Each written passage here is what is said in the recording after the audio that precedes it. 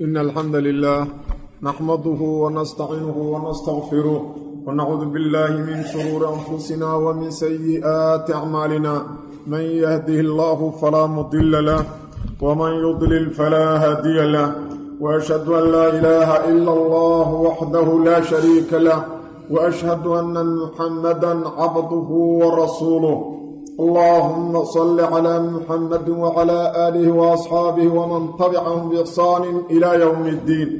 أما بعد وعن كسو جدنا تفسير كي قرآن كريم كاها ودرسي جنين لباب بقل تطباطا يلابا ونغب بلابنا يا آيات يا يكوبات من سورة الأنفال.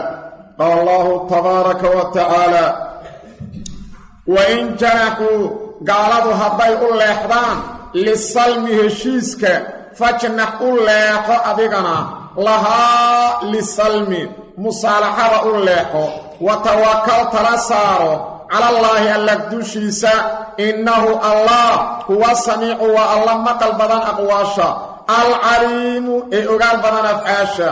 Wa in yuriiduu hadday doonayaan gaaladu markay heshiiska dalbayaan an yaqdacuuka inay ku dhagraan fa inna xasbaka midka kugu filanu allaahu wa allah huwa allah alladii waa midka ayadaka ku xoojiyey binasrihi gargaarkiisa kugu xoojiyey wa bilmu'miniina mu'miniintana kugu xoojiyey wa allafa allah waa midka isku keenay bayna quluubihim mu'miniinta qalbiyaalkooda.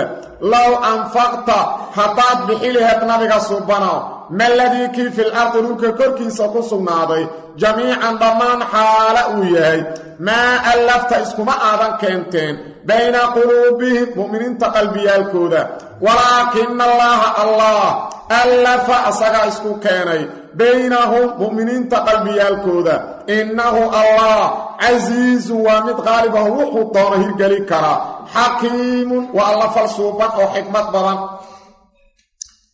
wain janaxuu aayadda aayaddii ka horreeday waxaa rabbulcaalamiin noogu soo sheegay gaalada haddii laga cabsado inay ballankii ka baxeen in la yidhaahdo saacaddan kadib heshiis nagama dhexeeyo aayaddan ilaah wuxuu leeyahay subxaana wain janaxuu gaaladu hadday u leexdaan lisalmi lisilmi waa qiraa'ataan sabciyataan ah waana isku macno oo waa almusaalaxatu waalmuhaadana lisalmi lisilmi waa qiraa'ataani sabciyataan hadday heshiis u leexdaan musaalaxo ay u leexdaan oo ay dalbadaan oo yidhaahdaan aan heshiinno.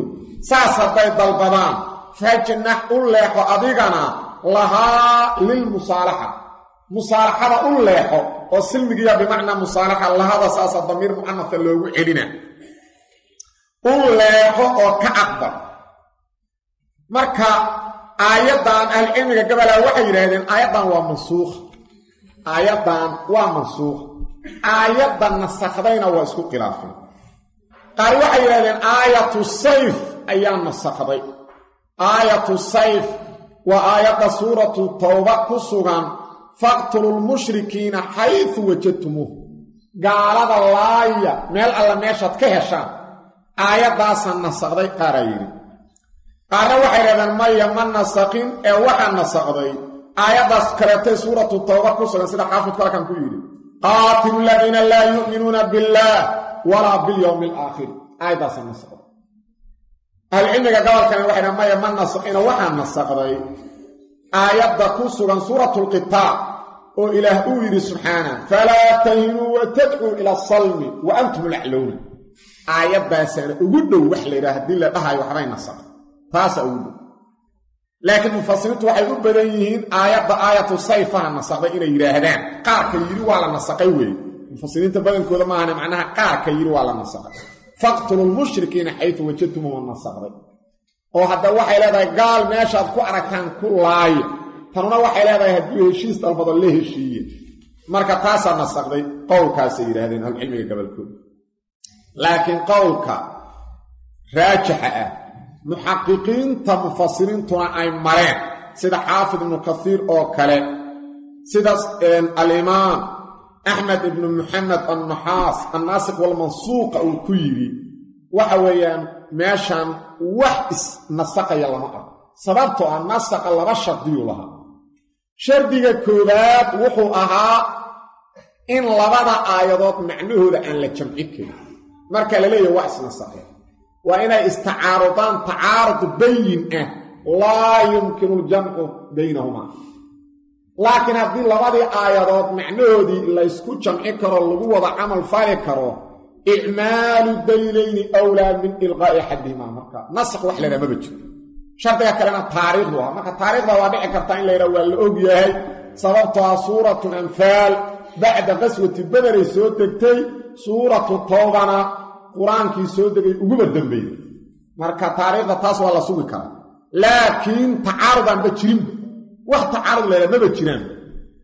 Waana sida waxa weeyaan xaafid ibnu katirna uu halkan ku caddaynayo tafsiirkiisa wa kadaalika uu ku caddaynayo axmed ibnu maxamed annaxaas waxa weyan annaasiq walmansuuqa aayaddan waxaa caddaynaysa aayadda suuratulqitaal waa isfasirayaan waa iscaddaynayaan oo xaafidku wuxuu yidhi nasaqa qolada sheegtay markuu xikaayoodu yidhi fiihi nadar waa qaabka uu wax u naqdiyo waana qaabka culammada ahlusunna isku naqdi jireen.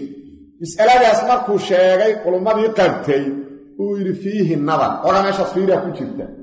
Nadar aa ku jira.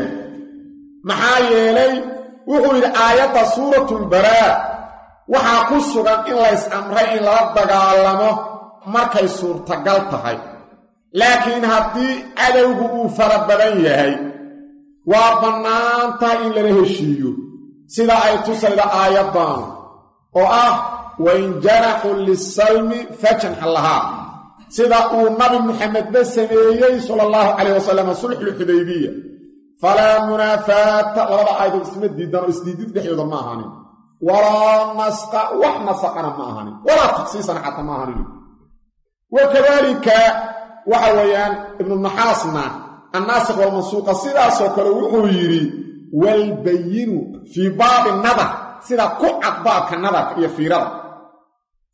Allaa takuuna mansuuqa waa inaan aayaddan mansuuqo ahayn. Wa an takuuna faaniyatun mubayinatun liluulaa aayaddaas oo ah falaa tahinuu wa tadcuu ila salmi wa antum laclowna aayaddaasaa waxay fasiraydaa oo caddaynaydaa aayaddan ah wa in janaxu lisalmi fajnax lahaa oo waxa weeyaan xaaladda ciidanka muslimiintu badan yahay hubkoodu diyaarsan yahay cadowga ay iska celi karaan xaaladdaas muslimiintu inay nabadgelyo dalbadaan ma aha. Ma aha. Falaa tahinuu hadaciifinina wa tadcuu ila salmi oo nabadgelyaha u yeerannina. Wa antum laclowna xaaladda aad sarraydaan ilahayday waa xaaladdaad idinku gacan sarraydaanoo xoog badantiin aayaddaana xaalad kale ay ka hadlayda isku xaalad ma aha. Markay muslimiintu xoog badan yihiin oo ciidankoodu diyaarsan yihiin ma ahan heshiis iyo nabadgelyo inay dalbadaan marka laga xoog badan yahay oon ciidanka waxa weeyaan iyo hubka looga xoog badan yaho dagaalka dhan aysan ugu jirinne heshiis haddii gaaladii dalbato waa inay aqbalaan. Waa inay aqbalaan. Laba xaaloo kala duwanay ka hadlayda aayaddaas iyo aayaddan mid walbaba xaalad gaar ah iyo sidaan u dhaqmi lahayna ilahay noogu caddaynaya marka laba aayadood midba macno gaara ka hadlayda weeyaan isfasiraya ee ma aha wax isnasaqaya waana sidaas sida sawaabka. Weligoodna muslimiintu kama suulin inay gaalada la heshiinayaan. Nabigaa la heshiiyey sala allahu calay wasalam saxaabadaa la heshiiyeen taabiciyaalkay la heshiiyeen atbaacu taabiciina la heshiiyeen. Waxa weeyaan mar kasta oo muslimiinta maslaxa ugu jirto sulxiga la geli jirin. Markay muslimiinta dan ugu jirto inay dagaalamaanna kuwaas aan heshiisku kala dhexaynay iska dhici jirin. Kuwaana markay heshiiskoodu dhammaado alla iska dhicin ayaga heshiiska nabigu sulxulxudaybiya la galay gaalada sagaal sanu ku sheegay xaafidku halkan. Maxamed ibnu isxaaq saaxibu siirana toban sanu ku sheegay ayma kalena saddex sanayba ku sheegay. Khilaaf badanaa ku jira laakiin qowlka ugu mashhuursan waa inuu toban sana ah laakiin xaafidku halkan sagaal sano ku sheegay. Wain janaxuu gaaladu hadday u leexdaan lisalmi heshiis fajnax u leexo lahaa heshiiska wa tawakal tala saaro calallaahi ilaahay korkiisa innahu allah assamiicu waa mid maqal badan alcalimu alle ogaal badan macnaha gaaladu markaas ay heshiiska dalbanayaan makri ay kuu maleegayaan arrintu hadday tahay ilaahay u tala saaro ilaahay aqwaashay ku hadlayaan waa maqla afcaashay samaynayaan waa ogi wa in yuriduu hadday doonaan oo heshiiska ay dalbanayaan ay ku doonayaan an yakhdacuuka inay ku dhaqraan inay ku khiyaanaanay rabaan markay heshiiska dalbanayaan. Waxay rabaan inay ku diyaargaroobaana xoog yeeshaan. Taa saas istiraahdo. Ila taasay ma karta. Inaad tirahdo gaaladan markay hadda heshiiska dalbanayaan ujeedday ka leeyihiin waxay rabaan inay diyaargaroobaan ilaahay baa taas kaaga jawaabaya wa in yuriduu gaaladu hadday doonayaan an yakhdacuuka inay ku dhagraan fa inna xasbaka midka kugu filanu allaahu wa allah. Isagaa keligiis kaaga filan. Makrigooda iyo shartooda isagaa kaaga filan.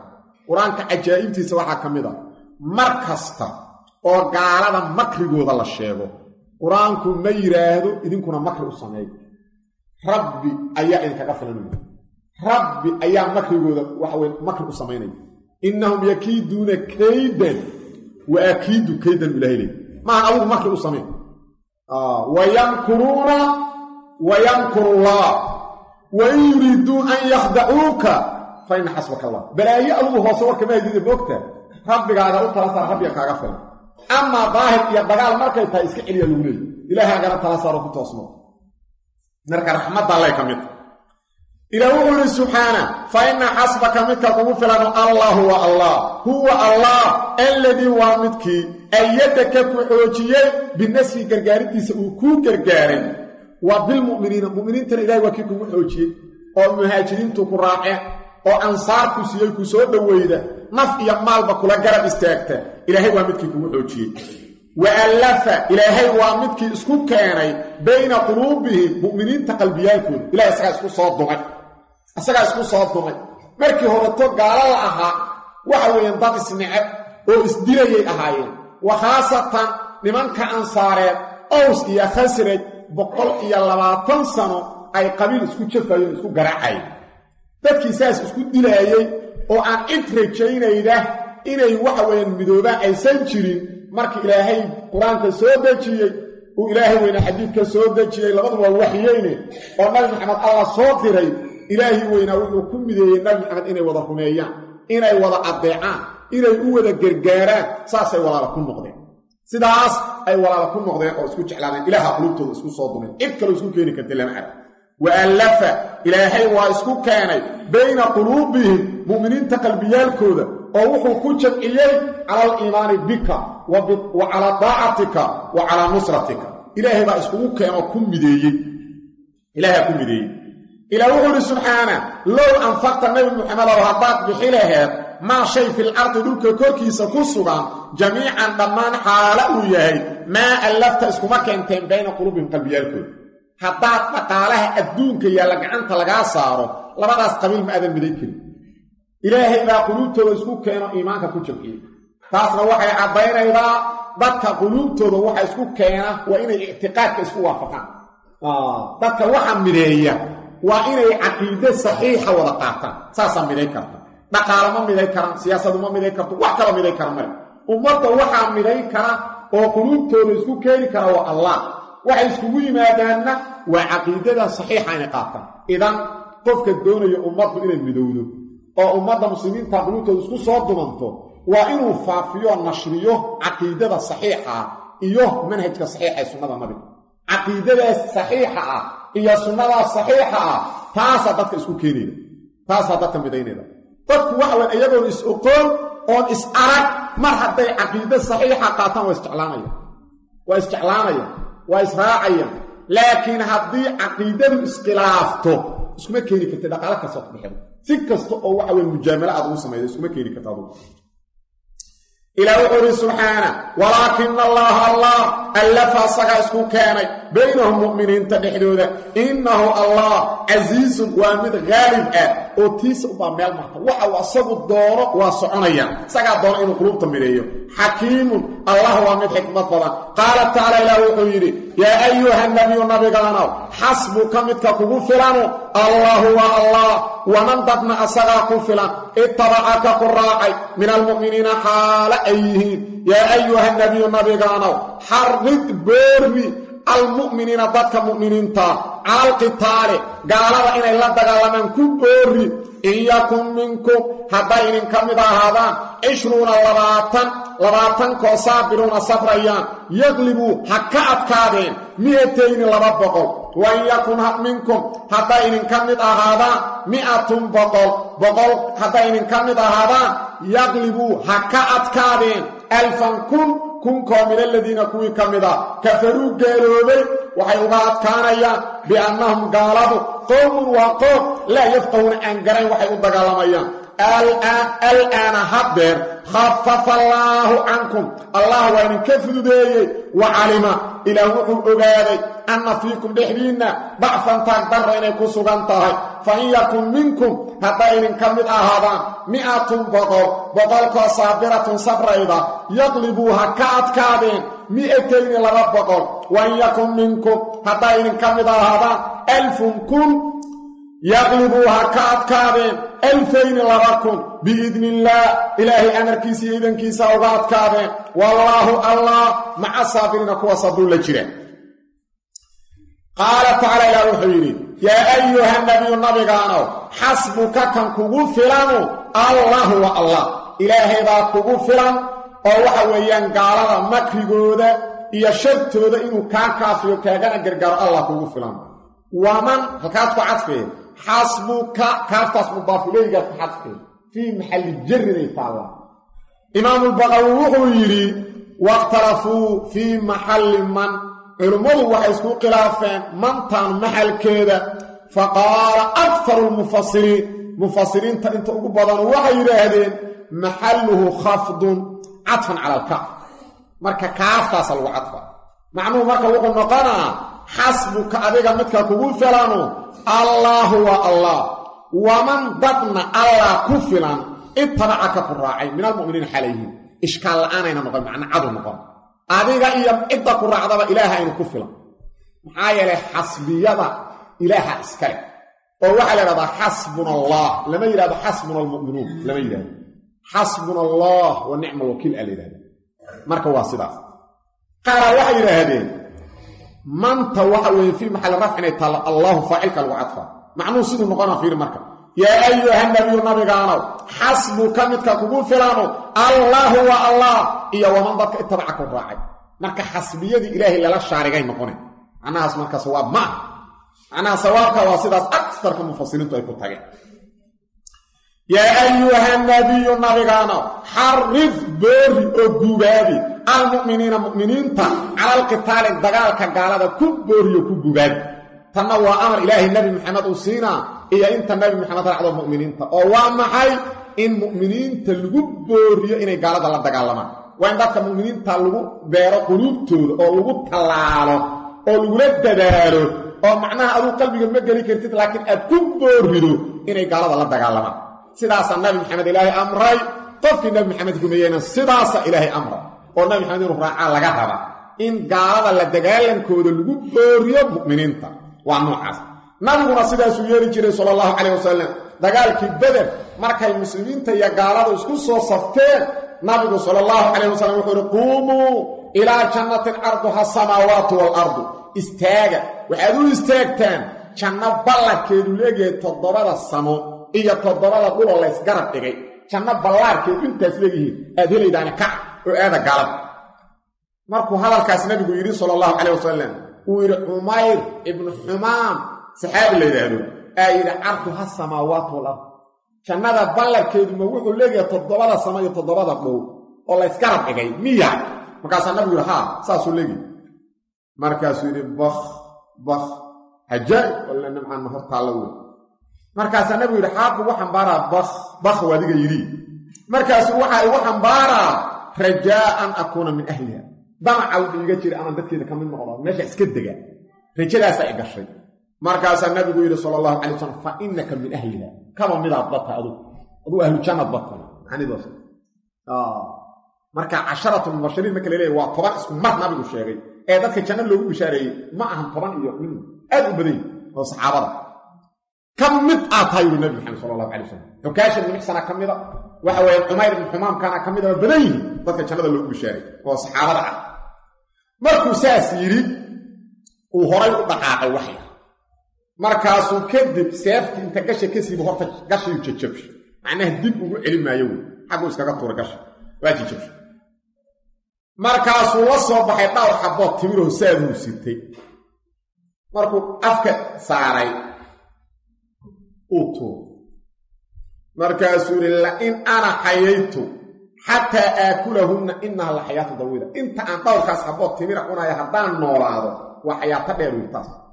Jannadaas aanba moogaanaaba marka haddiiba aan noolaado intaanu xabbo intaan cunaayo inahaa la xayaata dawiila. Ma ka dhaqaaqay? Dagaalkuu galay horaana laga deli. Ma u jeedaa jannuna aad ila nabi maxamedaa sheegay sala allahu alay wasalam nabi maxamedaa noo sheegay saasay marka eedoo nabigu ugu boorri jiray mu'miniintana saasay waajib ugu tahay inay isku boorriyaan dagaalka. Ilaah wuxuu yidhi subxaana in yakun minkum hadday idinka mid ahaadaan cishruuna saabiruuna. Marka kaanadan waxaan ka dhigaynaa naaqisa taamana waa jirta iyadoo laga dhiga in yakun hadday sugnaadaan aad leedaha markaas cishruunana waa faacil minkumna cishruuna baa laga xaalayna in yakun hadday sugnaadaan haddii ficilka taama laga dhigo in yakun ficil taama haddii laga dhigo cishruuna waa faacil minkum jeermajhuurkaanana cishruuna baa laga xaalaynayda ka dambayda oo faacilka. Wa in yakun hadday sugnaadaan minkum idinka xaalo ay idinka mid yihiin cishruuna labaatan labaatankaasoo saabiruuna safrayaan yaqlibuu ha ka adkaadeen mi'atayni laba boqol. Yaqlibuu waxa waa jumlooyinka la yidhaahdo khabariyatun lafdan dalabiyatun macnan. Waxay la mid tahay yarxamuka allah yarxamuka allaahu maxaad tidhahdaa allaha kuu naxariista weye soo moogi waalwaalidaatu yurdicna ha nuujiyeen alaleey waalmudallaqaatu yatarabasna ha sugeen alaleey soo maaha taasoo kale wey khabar laga dhigi maaha culammada gobol ka dhigta mufasiriinta waa jira laakiin ishkaalaad aysan ka jawaabi karinaa ku soo aroora ishkaalka ugu daran waxay tahay hadday khabar ka dhigaan macnuhu wuxuu noqonaa oo yidhaahdaan waa bishaaro ilaahay noo sheegay waa ka adkaanaya. Macnuhu wuxuu noqonaa in yakun minkum cishruuna. Dii labaatan qof idin ka mid ahaadaan muslimiintiinna labaatankoo saabiruuna sabrayaan yaqlibu waa ka adkaanaya mi'atayn khabar haddii laga dhigo waxaa ishkaalka ugu daranoo laga jawaabi karin soo arooraa uu yahay aayaddan waa mansuuqo aayadda soo socotaa nasakday waa cadda khabarna lamama nasaqo sideeda khabar lamama nasaqo waxaa la nasaqa waa dalabka bis. Maba jira khabar la nasaqay. Shay haddii alla sheego oo yidhahda arrinkaasu saasu ahaana ma la nasaqo ma la nasaqo waxaa la nasaqan sidiisaba waa dalab waxaa sameeya waxaa dhacda in la nasaqo la yidhaha samaynina waxaas ha samaynina ah nasaqa amaa khabar lama nasaqo taas waa mid waa ishkaalka ugu adoon laga jawaabi karo ishkaalaadka kale waxaa ka mid ah waxaa la arkoo waaqixaan u dhacday muslimiinta oo gaalada aan waxa weeyaan cushurkood ka yarayn ilaa waa cushur mogta toban meelood meel haddaadtiin oo gaaladu toban goor idin ku jibaarinto waa ka adkaanaydaanu noqona oo halkii qofoo muslima toban gaalo ka adkaanay noqona waxaa la arkay iyadoo cadadku sidaas yahay oo gaaladii adkaatay. Bal waxaa la arkay muslimiintoo gaalada barkooda ooba laba jibaar kaliya uga badan yihiin oo gaaladii adkaataa dhacday marka gaba marka shayga qabarkaah ilaahay sheegana ma dhici karto inuu baaqdo. Waa siduu u sheegay u dhaca. Laakiin ishkaalkaas xoogaa waa ka jawaabeen mufasiriintu waxay yidhahdeen markaas muslimiinta laga adkaana muslimiinta sifadii saxda aha lahayn. Ilaa ma ogtahay cishruuna saabiruuna la yidhi taas marka ishkaalka xoogaa jawaabtaasaa loo raadiyey laakiin kan kaleeta adag marka sida oo waxa weyan ishkaalaanta waa yaqlibu waa khabariyatun lafdan dalabiyatun macna.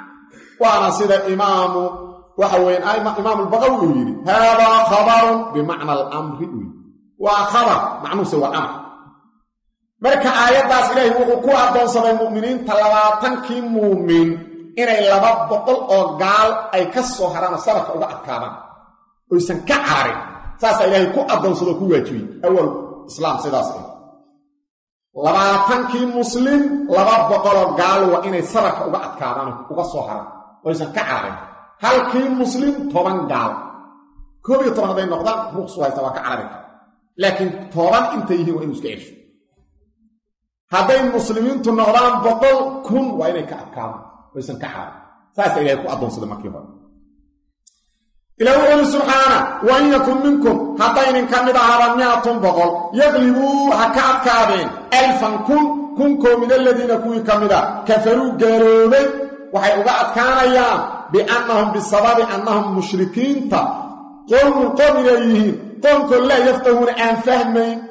Macnaha way dagaalamayaan waxay u dagaalamayaanna ma fahmayaan oo hawaab rajaymayaan markay dagaalamayaan ajar rajaymayaan laakiin muuminku waxa weeyaan waa muuminka siiba ordaayoo leh timirta intaan la eg haddaan dhammeeyo cimrigayga dheeraana wax ka weynu u sii ordaaba marka sidaas weeyaan. Alaana hadda khafafa allaahu cankum ilahay waa idinka fududey aayaddaas marka hore qaybta ah in yakun minkum cishruuna saabiruuna yaqlibuu mi'atayni wa in yakun minkum mi'atun yaqlibuu alfan. Intaas aayaddan dambaa nasaqday marka waa mansuuqa intaas. Waxaa nasaqday alaana haddeer khafafa allaahu ilaahay waa fududeeyey cankum xaggiinna. Wa calima ilaah wuxuu ogaaday anna fiikum dhexdiinna dacfan taagdar inay ku jirto. Ilaahay wuxuu idin ogaaday xoogaa dacfi inuu ku jiro oo ninkiiba toban uusan iska celi karin. Sidaas darteeda allahu idinka fududeey cabdullah ibni cabbaas wuxuu yidhi markay soo degtay in yakun minkum cishruuna saabiruuna yaqlibuu mi'atayni shaqa daalika cala muslimiin arrinkaasaa muslimiinta dhibay toban gaal iska celi xiina farada allaahu calayhim allaa yafira waaxidun min casharatin waxay muslimiintu dhibtoodeen ay culayska dareemeen markii ilaahay ku farad yeelay marka tanuna waxay caddaynaya yaqlibuun inay amar tahay maxaa yeele farada alla ka dhigay yule ee qabar ma markii ilaahay ku farad yeelay halka midoo muslimkaa inuusan ka carari karin toban gaal. Uma jaa'a takfiifu kadibaa fududayntu timi. Faqaala alaana khafafa allahu canhu. Cabdullah ibn cabbaas wuxuu yidhi khafafa allaahu canhu min alcidda wa naqasa min asabri biqadri maa khafafa canhu. Ilaahay weynaa subxaanahu wa tacaala waxa weeyaan cadadkii waa fududeeyey oo waxa weeyaan laba gaal waa inaad la sarfantaa laba kana carari karti saasaa laga dhigay waxaa kaloo ilaahay fududeeyey sidoo kaleeto sabarkii. Bukhaari saxiix bukhaari oo ku sugan alaana hadda khafafa allaahu cankum allah waa idinka fududeeyey. Wa calima ilaah wuxuu ogaaday anna fiikum dhexdiinna dacfan taagdara inay ku sugan tahay. Fa in yakun minkum hadday idinka mid ahada mi'atun boqol boqolkaasoo saabiratun safrayda yaqlibuu ha ka adkaadeen mi'atayni laba boqol. Ka marka waajib waxay ka dhigaydaa qofka muslimka laba gaal inuu iska celiyo. Ninka muslimka ah laba gaal inuusan ka carari karin. Welidaasaa dare cabdullahi ibni uu yidhi qofka ka carara laba gaal waa carar laakiin saddex qofkii ka carara ma cararin.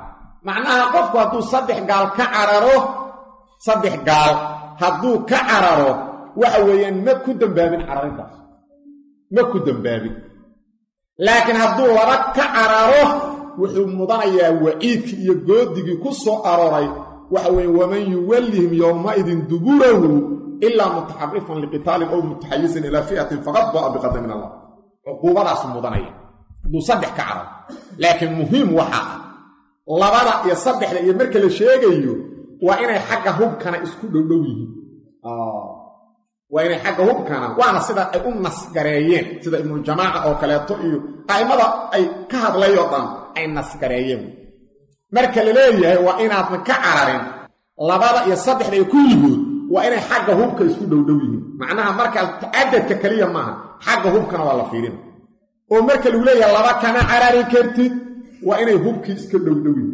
Oo maalan hubka gaalkaanu sito wax uu kula dagaalamo uu wato ee muumin aa ka meel la taagan inuu baaba is hortaago yidhahdo hal gaala wata kana carari maayo maaha wax ilahay ku addoonsana ilaahayna ma amro qofku muusan awoodin ilaa hal taangiyuu soo waran karaa hal gaalo mog ama labaaba u hota kaliya hadday rabaan. Maaha markaasoo kale inuu leeyahy ma bannaan inaad ka carar oo tiraad maya ilahay wuxuu yidhi labaha ka caran meeshana waa laba wax socda. Waa hortaagnaana taas ma. Waxa weeyaan waa in hubkuna isku dhowdhowi oo wax aad ku dafcido ahayda wax u gaalku wato si guud ha u kala hub badnaadeen laakiin wax lagu dafciyo waa in la helo. Wax lagu dafci karo. Markaas wey marka laleeyaha ka carab. Marka waa nooca ilaa wuxu uhi subxaana wa in yakun minkum alfun. Kun haddaynin ka mid ahaadaan yaqlibuu ha ka adkaadeen alfayni laba kun oo ha la sabartameenoo sabarka uga soo hareen. Biidni illaahi ilahay idankiisa uga adkaadeen wallaahu allah maca saabiriina kuwa sabra ayuu la jira oo dul qaata oo sabarka ayaa gargaarka alle lagu helaa qaala tacaala ilaah wuxuu yidhi maa kaana linebiyin nabi uma habboona an yakuuna lahu inay u sugnaadaan asraa kuwa la soo qafaashay xataa yusqina ilaa nabigu xarkajiyo alkufra wa ahlahu. Kufriga iyo eelkiisa uu xarkajiyo fil ardi dhulka korkiisa uu ku xarkajiyo turiiduuna idinku waxaad doonaydaan carada dunyaa dheefta adduunyada. Wallaahu allahna yuriidu wuxuu idinla doonayaa alaakhirata aakhira. Wallaahu allah casiisun waa mid qaalib ah xakiimun oo xikmad badan. Lowlaa kitaabun kitaab hadduusan jiri lahayn. Kitaabkoo minallaahi alla xaggiisa ka ahaaday. Kitaabkaasoo sabaqa hormaray. Lamasakum waxaa idin taaba lahaa. Fii maa fa bisababi maa kii sababtiis akhadtum aad qaadateen oo min alfidaa'i fidyada ah. Cadaabun cadaab ayaa idin taaba lahaa. Cadaabkaasoo cadiimun weyn fakuluu cuna haddee mimaa kii qanintum aad qanimaysateen xalaalan xalaal xaala uu yahay. Xalaashoo dayiban wanaagsan. Wattaqullaha allah ka baqa. Ina allaha allah gafuurun waa mid dembi dhaaf badan raxiimun oo naxariis badan. Aayaddan sabab mas'uulkeeda horaan soo sheegnay musnadka imaam axmed iyo qayrkiisbuu ku sugan yahay waana saxiix markii dagaalkii beder uu dhammaaday oo toddobaatan gaal la soo qafaalay aan nabigu saxaabada la tashaday salawaatullahi wasalaamu calayh. Maxaan ka samaynaa maxaabiista abubakar wuxuu rasuulka alla waa in madahayaashe waa tolkeen. Waxaa dhacda berri inta xaqa rumeeyaan inay cudud noo noqdaan. Aan iska sii iska sii iska cad. Xoogaa ka qaado dhaqaalo. Dhaqaalahaas aan ka qaadanna xoogay noo noqonayaano cadowgan iskaga dhacayna ayagana hadhow ilaahay inta iimaan ku risaaqo inay cudud noo noqdaana dhacdo sidaas yidhi abubakar ayuu cumar ibnu khadaab nabigu weydiiyey. Yabna alkhadaab say kula tahay kaasuu rasuulka alla waxaan arkaa aniga hebela qaraabo ilaahay ii dhib madaxaan ka jaro. Calina caqiil ibnu abi taalib walaalkiis u dhib madaxaa ka jaro. Xamsana hebel oo walaalkiisa u dhiib qof walba qofka qaraabadiisa u dhiib qoorta aan ka wada goyno ilaahay qulubteenna ha ka ogaado inaan gaal jacayl ugu jiro saasaanu ku tallaha markuu sidaas yidhi nabigu wuxuu qaatay taladii abubakar fidye in laga qaatay. Maalinkii dambe ayuu cumar u yimid nabiga sala allahu calay wasalam iyo abuubakaroo booyey oo ilinu ka socoto. Markaasuu maxaa idinku dhacay? Haddaan ii sheegtaan. Wax aan la booyo waa booyaa haddaadnan ii sheeginna waa isbooyinaa maadaama nabiga iyo abubakar booyayaan. Ee ii sheeg nabigu wuxuu yidhi sala allahu calay wasalam fidyadii laga qaatay waxa weyan dadkii la soo qafaashay cadaabaaba ii soo jirsaday geedkaas ugu dhic tegay khataranba galo khataranga marka taas weeyaan aayaddana soo degto aayaadkii soo degay ka mid ahaa. Qaala tacaala ilaah wuxuu yidhi maa kaana linabiyin nabi uma habboona an yakuuna lahu inay u sugnaadaan asraa kuwa la soo qafaashay. Inuu maxaabiis qabqabto xirxirto uma habboona. Xataa yudkina ilaa uu xarkajiyo alkufra wa ahlahu gaalka iyo eelkiisa ilaa uu xarkajiyo xayrtu waxa intay socsocoto ay dhaqdhaqaaqaydo. Waxa weeyaan hadda dhinacay aadi karta laakiin markay xarkagto ay fadhiisato xayrtii oo haddii weelka la fooriye aysan ka daadayn isqaanka waa midkaa marka waxa weyan gaalkii oo weli dhaqdhaqaaqa oo dhici karto berri inuu kuu soo duulo saa damba inuu soo duulo inaad qafqafaalato mahan xixirato.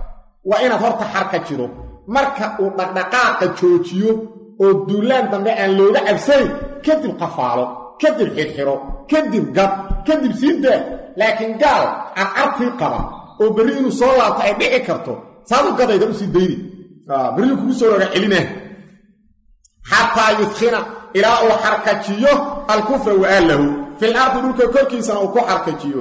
Ilaa wuxuu ihi subxaana turiiduuna waxaad rabtaan oo doonaydaan carada dunya dheef adduunaad rabtaan oo dhaqaalahaas aad ka qaadaydaan gaaladaad rabtaan wallaahu allahna yuriidu ee yuriidu lakum wuxuu idinla doonaa alaakhirata ziinat alaakhira. Aakhiro quruxdeedu alla idinla rabaa quruxda aakhiro uu idinla rabaa aayaadka leehaa muwaafaqaatulcumaray ka mid ta aayaddu. Oo taladii cumar soo jeediyey si waafaqsan aayada ku soo degeen. Wallaahu allah casiisun asaga qaalib ah. Wuxuu doono ayuu fuliyaa. Xakiimun waa mid xikmad badan qaala tacaala ilaah wuxuu yidhi lowlaa kitaabun kitaab hadduusan jiri lahayn. Kitaabkoo minallahi alle xaggiisa ka ahaaday. Kitaabkaasoo sabaqa hormaray. Lamasakum waxaa inin taaba lahaa fii maa fa bisababi maakii sababtiis akhadtum aad qaadateen oo min alfidaa'i macnaha fidyada aad ka qaadateen gaalada sababteed aa waxaa iniin taaba lahaa cadaabun cadaab cadaabkaasoo cadiimun weyn. Ilaahay weyna subxaana wa tacala wuxuu leeyahay waxaad ku badbaadeen horay ayaa ilaahay wuxuu qadaray in qaniimadu xalaal inin noqoto. Loox maxfuudkay ku tiillay horaa ilaahay u qadaray sidaasaad ku badbaadeen ma ahane haddaan taasu jiri lahayn waxa weyn cadaaba inin taaba laha waxaan cadaabkaas ku muda lahaydeen fidyada aad ka qaadateen xabiista waxaa la rabaa inaad laydaan. Laakiin cadaab inima taaban. Maxaa yeelay horay ilaahay agtiisa ilaahay wuxuu qadara lox maxfuudkaba ku qornaa. Markii dambena la soo dejiyo la shaciyeeyey qaniimadu inay ummaddan xalaal u tahay. Oo nebi maxamed ummaddiisa ay xalaal u tahay salawatu ullahi wasalaamu calayh haddii aayaddaas canaan adagaa soo degtay hadday canaanu soo degtay xoolihii waa laga cabsaday laga qaaday. Xoolihii laga qaatay ee hantidii laga qaaday ayaa laga cabsaday. O layidhi haddee diba cadaabna kaaba tegay wixii aan qaadanay sababtood saan ku cunaynaa wixii aan qaadanay. Ilahay aayaddaanu soo dejiy ilah wuxuu ihi subxaana fakuluu hadda iska cuna. Da qaadatay mimaa kii qaniimtum aad qaniimaysateen xalaalan xalaal xaaluu yahay xalaasha weliba dayiban wanaagsan dayib weeye welidaa saas daraaddeed mufasiriin waxay yidhahdeen mufasiriinta kaliya maahane fuqaara xataa kitaabu beec markay bilaabayaan in badan waxay ka hadlaan wax qofka muslimkaahu cuno maxaa u wanaag badan oo u xalaalnimo badan qaniimada wey ilaa nebi maxamed iyadaasuu ku noola oo uu cuni jir soo ma jeedin wax qofku ka saba meel uu ka shaqaysto oo wax ka cuno waxa ugu xalaalnimo badan waa qaniimada xalaalan xalaal xaalay tahay cuna. Xalaashaasoo dayiban wanaagsan. Wattaqullaaha ilaahay ka baqo amarkiisa qaata wuxuu idinka reebay ka hara. Ina allaaha allah kafuurun waa mid dambi dhaaf badan raxiimun naxariis badan. Kadib wuxuu yidhi xaafid ibnu kaiir waqad istaqara alxukmu fi lasraa kadib xukunku wuxuu ku sugnaaday cinda jumhuuri lculamaa imaamka muslimiinta khiyaar u leh maxaabiista la soo qabto. Afar shay tuu rabuu samaynaa duu rabo wuxuu samayn karaa inuu dhammaan laayo. Sidii bani qurayda nabi maxamed ku sameeyey. In alla inta la soo qabto in madaxa laga wada jaro. Hadduu rabana maaluu ku gada karaa. Sidii nabi maxamed ku sameeyey maxaabiistii bader hadduu doonana maxaabiis gaaladu haydayuu ku beddelo karaa. Sidii rasuulku ku sameeyey islaan iyo laba gabdhood islaan iyo gabarteed oo waxa weeyaan ku jiray maxaabiistii uu soo qafashay salaamata ibnul akwa ayaa nabigu celiyey oo wuxuu ku beddeshay maxaabiis muslimiin oo gacanta gaalada ku jiray. Hadduu doonana addoommuu ka dhiga kara. Sida in badanba haddi looga dhigay addoommo ayuu ka dhiga kara. Marka afartaasuu khiyaar u leeyay imaamku.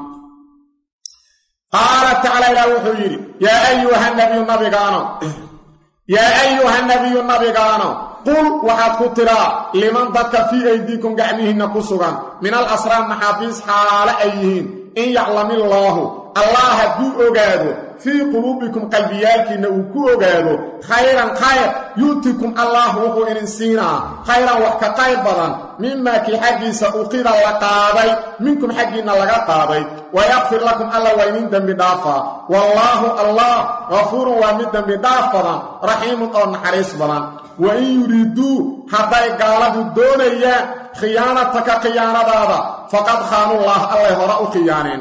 Min qablu min qabli waqcati badrin. Dagaalkan badan ka hor ay allah khiyaaneen. Fa amkana ey fa amkanaka ilaahay gacantuu kuu soo gershay minhum gaaladii. Wallaahu allah caliimun waa alle ogaal badan xakiimun oo xikmad badan. Aayaddaanna waxay ka hadlaysay maxaabiistii bederoo la soo qabtay gobol ka mid ahaa? Waxay yidhahdaan annagu muslimiin baana cabbaas ibnu cabdilmudaliba nabiga adeerkiisaa ka mid oo agtalo mufasiriin ku sheegay. Markii la soo qabtay hore anuu muslimaan waana la soo dirqiyey macnaha waana la soo dirqiyey. Raalli maanan ahayn. Markaa yaan lay gadin wey aniga nabiga sala allahu calay wasalam ilaahay baa ogin islaamnimadaada laakiin daahirkaaga cadow naga soo horjeeda. Cadowgaad la socotay. Daahirkaaga cadowgaad la socotay walidaa saas daraad saxiix bukhaari waxaa ku sugan rag ansaarta ka mid aha yidhahdeen rasuulka allow cabbaas aan iska dayn yaan waxba laga qaadin. Nabigu waa dhaaftay wallaahi laa tadarun minhu dirhaman hal shilin wallahi looga tegayn. Waa la gada waa nabiga adeerkiis aabiis laba shilin ansaarta waxay rasuulka alla wiilkaan heratiya uma walaasheena dhashay naga daa yaan la gadin cabbaas. Nabigana kulli waa ku xurmaynaya. Ma garan wallaahi inaadnaan hal dirham looga tegayn hala gado ninkaan waa naga soo horjeeday cadowgu la socday soo ma jeeda weliba intaas kaliya maana waxaa la yidhi dhowr qofaad gade kaligaa maaha caqiil ibn abi baaliga walaal ka dhalay waa inaad gado inaad gadaa lagaa rabo. Waxaa kaloo lagaa raba inaad gasho nawfal ibnu alxaaris ibn cabdilmudalib wiilasha dhadayaasha utoo dhan halkii midana waxaa lagu gadaa afartan dirham oo dahab. Aa lagu gadaa. Afartan dirham oo dahabaa lagu gaday soo ma jeedin. Marka waa inaad gaddaahale iska dib boqol iyo labaatan dirham madaxaaga allah gasho adaa safka soo galay gaalada. Sidaa loo gado muslimna aan ahay soo maaha. Yaan lay gadin haddii muslimnimo ilaahay qalbigaaga ku ogaado asaga wax ka qayr badan kuugu bedeli doono. Waa islaamay cabbaas islaamnimo daahir oo khilaaf ka jirin. Kadibna wuxuu dhihi jiray ilaahay wax ka qayr badan iigu bedel afartankii dirhama baxshay horta afartan addoonaan yeeshay. Qani afartan addoon in lacag malayna. Toban beerta u dir tobanna geela tobanna ariga tobanna tukaamada u diran maantii dhaqaal u baatana midaad suuqa geysan. Toban afartankii u baashay afartan addoona alla adduunka isiiyi horta wax ka qayr badan alla waa isiiyi adduunyada. Dambi dhaafna waa rajaynaya ilahan ka rajaynaya yaa ayuha nabiyu nabigaano qul waxaad ku tiraa nabiga suubada liman dadka fii aydiikum gacmihiinna ku sugan min al asraa maxaabiis xaalo ay yihiin in yaclamillaahu allah hadduu ogaado fii quluubikum qalbiyaalkiinna khayran khayr hadduu ilaahay ku ogaado iyo islaamnimo yuutikum asaga allah idin siinaa khayran wax ka qayr badan mimaa kii ukhida minkum xaggiinna laga qaaday. Waxaa laydinka qaadood isku furatay wax ka qayr badan alla idin siina. Haddii ilaahay qalbigiinna khayr ku ogaado wayakfir lakum ilaahayna waa idiin dembi dhaafa. Wuxuu dhihi jiray wax ka qayr badana alla siiyey afartan addoona alla siiyey dembi dhaafkaasna waa rajayna wallaahu allah kafuurun waa mid dembi dhaaf badan raxiimu naxariis badan. Wa in yuriduu hadday doonayaan markaa ay islaamnimada sheeganayaan aan qayrba ku jirin wain yuriduu hadday doonayaan khiyaanataka in adiga ku khiyaanaan oo markay ku leeyihiin muslimiinaan nahay ay khiyaano doonayaan faqad khaanullah hala yaabin allay hore u khiyaaneen faqad khaanullaaha allah ayay khiyaaneen min qablu min qabli waqcati badrin dagaalkii bader ka hore allah khiyaaneen bilkufriyay ku khiyaaneen allay ku kufriyeen gaalnimadaasay allah ku khiyaaneen fa amkana labaa ku bannaan mucaddo ka dhig. Fa amkanaka ilaahay baa gacanta kuu geliyo ku makaniyey. Minhum gaaladii iyagoo kafara ah oo safka gaalada ku jire aa gacanta alla kuu geliyo. Amase laasim ka dhig. Fa amkana alla waa makansaday minhum ayaga gacantuu ku dhigay ilaahay baa makansaday. Wallaahu allah caliimun waa alla ogaal badan xakiimun oo xikmad badan. Waxaa qalbiga ku jiruu yaqaan. Sheegasho isaga agtiisa looga badbaadi ma allah.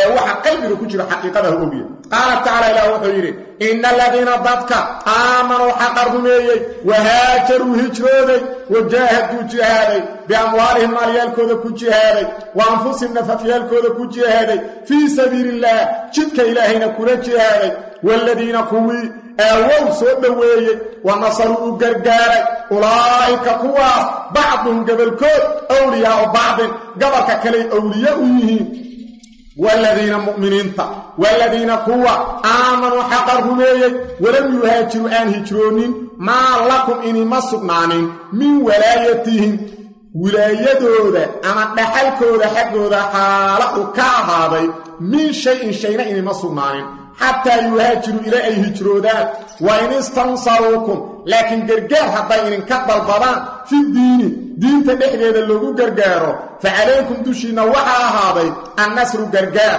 ilaa calaa qowmin qolo aadnaan uga gargaari karin maahane. Qoladaasoo baynakum dhexdiinna iyo wa baynahum ayaga dhexdooda miihaaqun ballan u ahaaday. Wallaahu allah bimaa tacmaluuna waxaad samaynaydaan basiirun waa mid u aragti badan. Halkaana mu'miniintii wakhtiga nebiga joogay aa saddex ilaahay u qaybina. Waa muhaajiriintii nebi muxamed sala allahu calay wasalam uu ka mid yahay waa muhaajir nabiga oo maka ka soo tegey guryahoodii hantidoodii eelkoodii ilaahay darsi uga soo tegey iyo ansaar oo madiine ku soo dhoweeyey. Iyo dadkii islaamay ee baadiyaha iyo duurka iska degeen oo madiine imaa diideen. Saddexdaasa loo qaybin. Labada qaybood waa ansaar iyo muhaajiriina la hormarina. Ilaah wuxuu uhi subxaana ina aladiina dadka aamanuu xaqa rumeeyey wahaajaruu hijrooday oo ka soo tegay daarulkufri oo daarta islaamka soo aaday wajaahaduu jihaaday biamwaalihim maalyaalkooda ku jihaaday wa anfusihim nafafyaalkooda ku jihaaday fii sabiililah jidka allena kula jihaaday iyo diinka alle koryeelidiisa.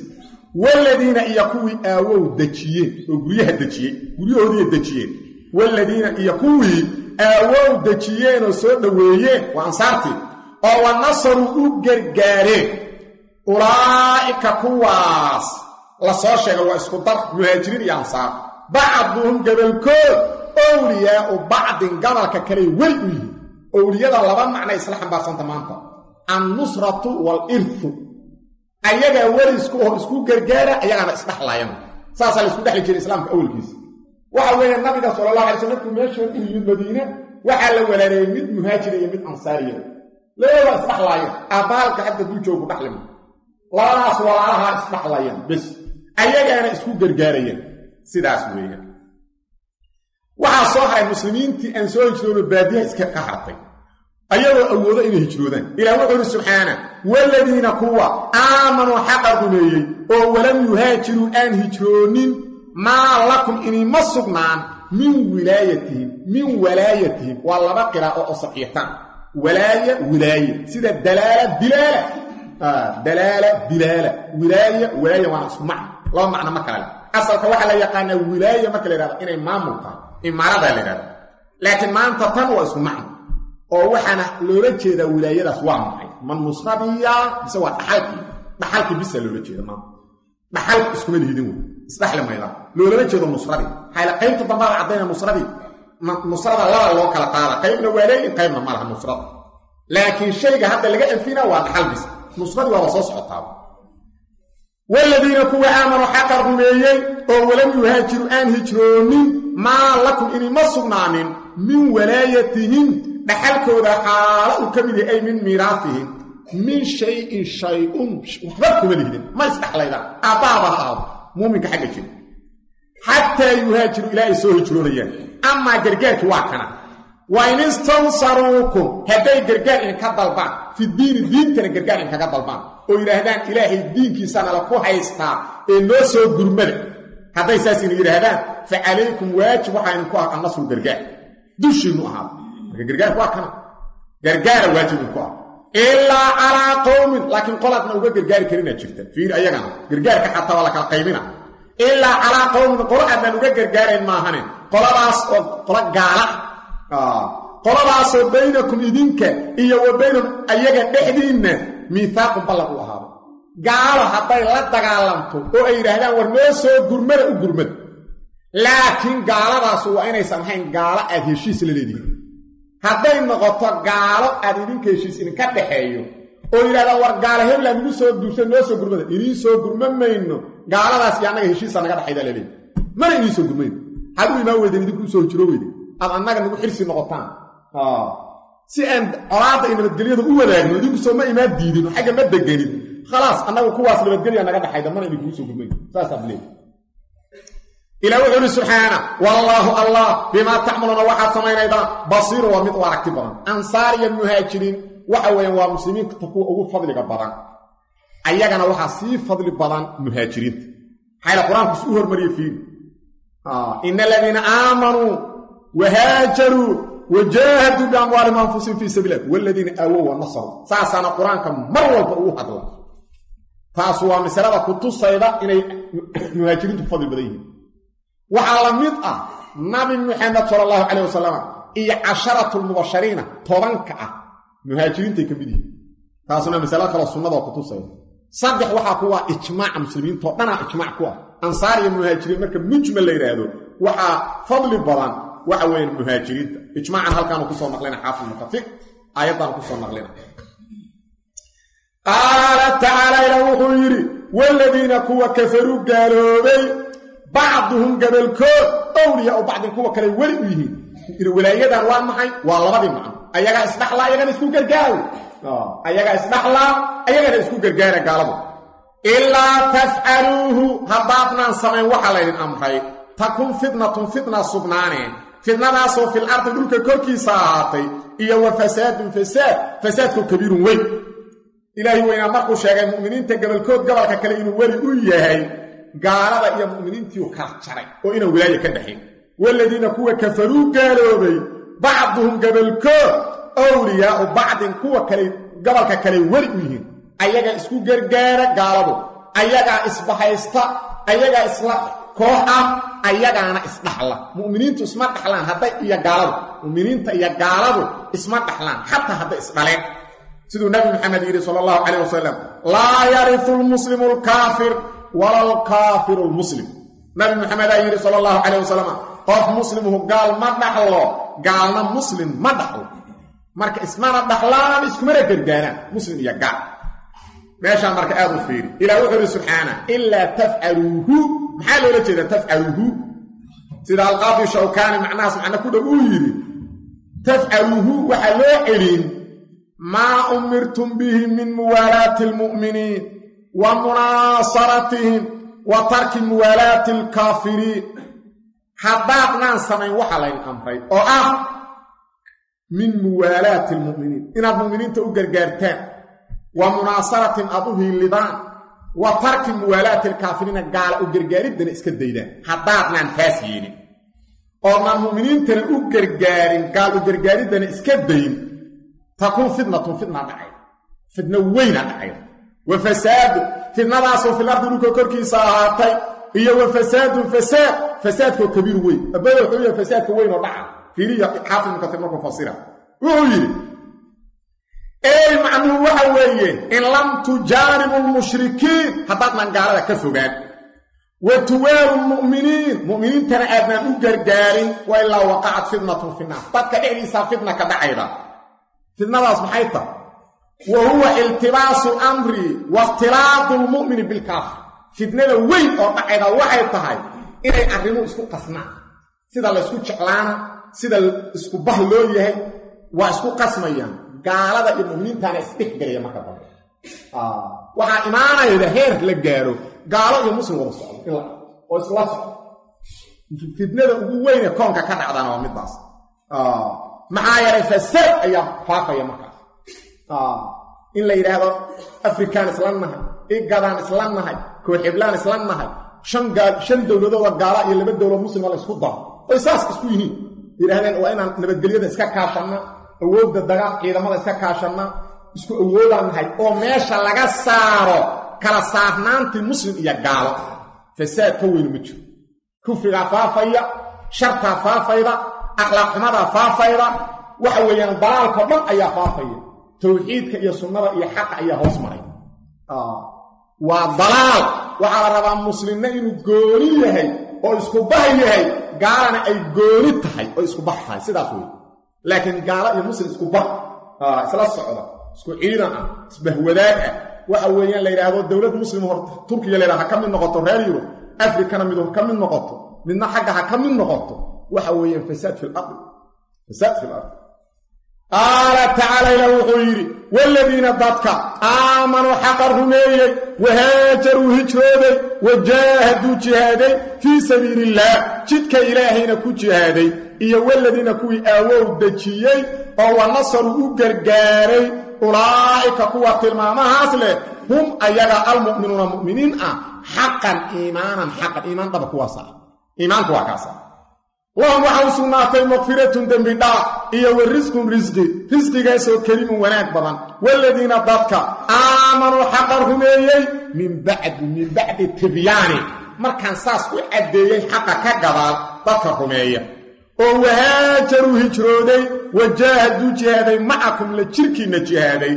Fa ulaa'ika kuwaasuna minkum idinkayni ka mid yihiin ansaariyo muhaajiriinow wa ulul arxaami qaraabada kuwa u saaxiibkaa bacduhum gobolkood owla ayaga u xaqnimo badan bibacdin gobolka kale fii kitaabillaah ilaahay xukunkiisa ugu xaqnimo badan yihiin. Ina allaaha allah caliimun waa mid u ogaal badan bikulli shayin wax walbaba waladiina dadkii aamanuu xaqa rumeeyey wahaajaruu hijroodo buldaanta gaalada ka soo tegey ee buldaanta muslimiinta yimid wahaajaruu hijrooday wajaahaduu jihaaday oo gaaladii la jihaaday fii sabiilillahi jidka alle kula jihaaday iyo waladiina kuwii aawow dejiyey oo soo dhoweeyey wa nasaruu u gargaaray oo u hiliyey waa ansaartii ulaa'ika kuwaas humulmu'minuuna ayagaa mu'miniin ah xaqan iimaanan xaq marka ansaar iyo muhaajiriin ilaahay baa iimaan uga marqati kaca laakiin shiica iyadu waa necabtahoo waa naclade iyadu kawar ilaahayna iimaanu uga marqati kaca iimaan uu ilahay uga marqati kaca lahum waxaa u sugnaaday makfiratun dembi dhaaf iyo wa risqun kariim. Risqi kariima waa janno waa risqi aan dhammaanayn waa risqi aan lagu dhibtoonayn waa risqi naftu ay raalli ku tahay waa janno waaladiina dadkii aamanuu xaqa rumeeyey min bacdu ey min bacdi tabyiini caddayntaas aan masalada caddeeyey ka gadaal markii xaqii saas loo caddeeyo waxa iimaanka uu yahay la caddeeyey ka gadaal dadkii rumeeyey oo wahaajaruu hijrooday oo ayaguna buldaantii gaalada ka soo tegey ee beledkii muslimiinta yimid wajaahaduu jihaaday macakum mu'miniinta idinka la jirkiinna fa ulaa'ika kuwaasuna minkum idinka idinka mid yihiin ansaar muhaajiriinu waxay idin kaga mid yihiin iimaanka. Waxay idin kaga mid yihiin ballanqaadka ilaahay idin ballanqaaday jannada. Waxay la mid tahay aayaddaanu waasaabiquuna alwaluun min almuhaajiriina waalansaar waladiina tabacuuhum biixsaanin radia allahu canhum waradu canhu wacadalahum janaatin tajri. Taasay kula mid yihiin. Taasay kula miday la mid. Oo waxa weeyaan ansaari muhaajiriina la sheegay iimaana loo ballanqaaday dembidhaafa loo ballanqaaday janna loo ballanqaaday dadka markaas kadib rumeeya ee dariiqoodii maraana ayagay ka mid oo wanaaggaasoo kale leeyihiin wey. Wanaaggaasoo kale leeyihiin ilaa wuxuu uhi subxaana wa ulul arxaami qaraabada kuwa u saaxiibkaa bacdun gabalkood owlaa ayaga u xaqnimo badan bibacdin gabalka kale fii kitaabillaahi fii xukmi illah ilahay xukunkiisa. Ulul arxaamka xaafid ibnu kasiir wuxuu yidhi ulul arxaamka maanta loolama jeedo macnaha fuqahada marka faraa'idka laga hadlaa laga hadlo. Loolama jeedo. Faraa'idka ulul arxaam waxaa la yidhahdaa dadka aan waxa weeyaan wax ku dhexlin farad oon farad lahayn qadar go'aanu ilaahay yidhi intaas alla siiyo male. Casabana ma noqdaan. Waa sida abtiga iyo habaryarta iyo eeddada iyo waxa weeye meydka gabar uu dhalay carruurtay dhashay iyo kuwaasoo kale weeye gabadha kula dhalato meydka la dhalatay carruurtay dhashay iyo ulul arxaam kuwaasaa la yidhahdaa lagama hadlaayo maanta kuwaas ulul arxaamka maanta qaraabadii o dhan waa laga hadlaa. Aabbihii iyo wiilkii meydku dhan kulligii wixi dhan waa laga hadlaa. Ulul arxaamka maanta macnahaasa laga hadlaa. Waana sidaas sida sawaabka. Waana sida cabdullahi bn cabaas in badanoo ku fasiray self ka wa ulul arxaami qaraabada dadka u saaxiibkaa bacduhum gobolkood owlaa ayagaa u xaqnimo badan bibacdin gobolka kale fil irsi xagga dhaxalka aayaddanuna waxay nasakhday aayaddii aan horay u soo marnay oo ahaa waxa ina aladiina aamanuu wahaajaruu wajaahaduu biamwaalihim waanfusihim fii sabiili illahi waladiina aawow wa nasaruu ulaa'ika bacduhum owliyaau bacdin irtigii qaybteeda ka nasar waxa weye awal iimaankaasaa laysku dhexlaayey tanaa nasaqday oo tiri markii mu'miniin badan ay noqdeen dadkii qaraabadaana aa la yidhi muuminna hadduu yahay qaraabana la yahay muuminka aan qaraabada ahayn isaga uga sokay isagaa dhaxal kale marka marka markaas intii ka dambeed waxaa laysku dhexlaayay qaraabanimo iimaan iyo qaraabada labadaas marka laysku daraa laysku dhexlay daadnaan isku diinahayn isdhexli maydaan daadnaan qaraabo ahayna amase sabab kaloo laysku dhexla aadan helinna waxa weeye la saddex sabababa laysku dhexlaayo waxa weye dhexli mayd marka aayaddaana nasaqday oo joojiday laysku dhexlaayay ukhuwadii waxa weye laysku dhexlaayay fii kitaabillahina fii xukmi illahi ayaa loola jeeda xukunka alle xukmay oo uu qoray